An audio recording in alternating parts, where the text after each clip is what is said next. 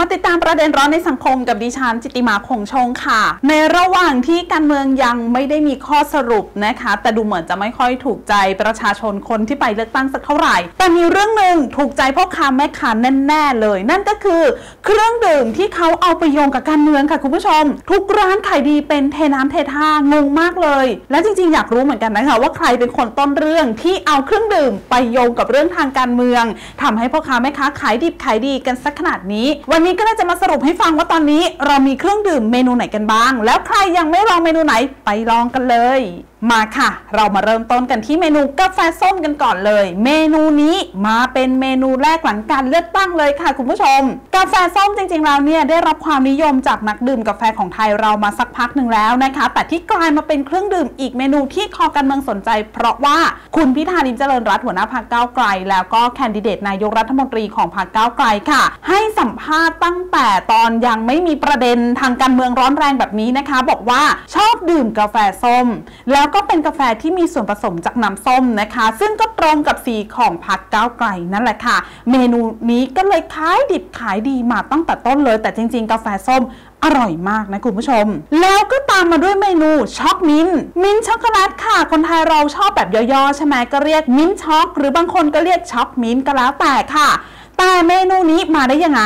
เมนูนี้จริง ๆ แล้วเป็นเมนูโปรดของคุณอุ๊งอิ๊งค่ะแคนดิเดตนายกรัฐมนตรีของเพื่อไทย แล้วนะคะพอเป็นเมนูโปรดใช่ไหมก็เลยกลายมาเป็นเครื่องดื่มประจำตัวไปเลยค่ะ ปลุกกระแสมินต์ช็อก fever โอ้ชาวโซเชียลเขาแห่แหนไปตามลิ้มลองรสชาติเครื่องดื่มนี้ทำให้เครื่องดื่มนี้ค่ะ กลายเป็นสัญลักษณ์หนึ่งของเพื่อไทยไปเลยค่ะแต่ปรากฏว่า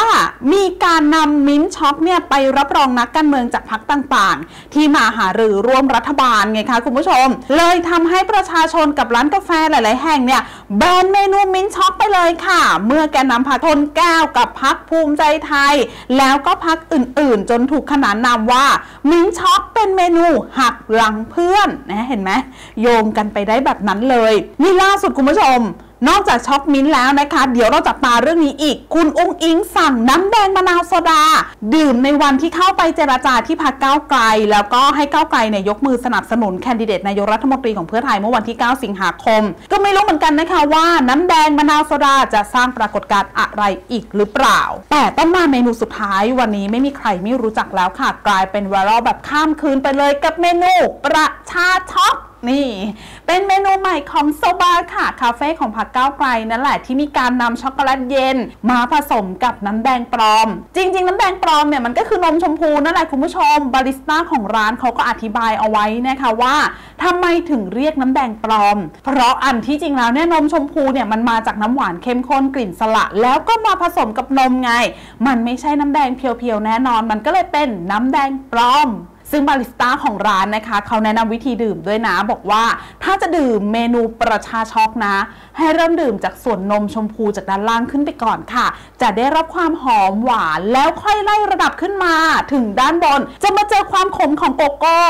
หลังจากนั้นนะคะค่อยคนให้เข้ากันค่ะ รสชาติทั้งหวานทั้งขมจะผสมผสานกันอย่างลงตัว เหมือนคนไทยที่เราต้องใช้ชีวิตแบบหวานอม ขมกลืนค่ะ โอ้โหเป็นยังไงกันบ้างมาแต่ละเมนูนะคะ ที่เขาเอามาเปรียบเปรยนะคะ เห็นภาพแล้วก็โยงไปถึงประเด็นทางการเมืองได้แบบค่อนข้างดีเลยแหละคุณผู้ชม อะ ตอนนี้เอาไปประมาณ 3 เมนูที่กำลัง fever กันอยู่ในตอนนี้นะคะ ไปลองชิมกันดูนะคะว่าชอบเมนูไหนกันบ้าง เรื่องการเมืองนะคะ เราอาจจะต้องพักกันบ้างค่ะ คลายเครียดกันบ้าง ตอนนี้หลาย ๆ คนค่อนข้างเครียดนะคะ ว่าการเมืองของเราจะไปถึงที่ทางไหน